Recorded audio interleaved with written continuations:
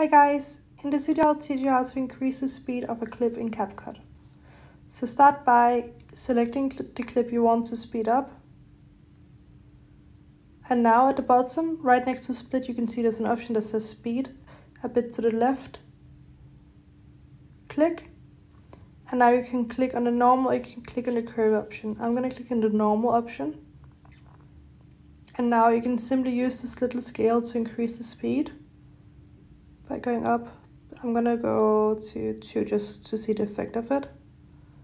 And as you can see, the clip got um, reduced a bit because we're speeding it up. That means the clip is going to be faster. Um, so instead of being 45 seconds, you can see the duration says from 45 seconds to 22.5 seconds. Once you're happy with it, click the little tick mark at the bottom right. And now when we play the video, you can see it's sped up. And that's how you increase the speed on a video in CapCut.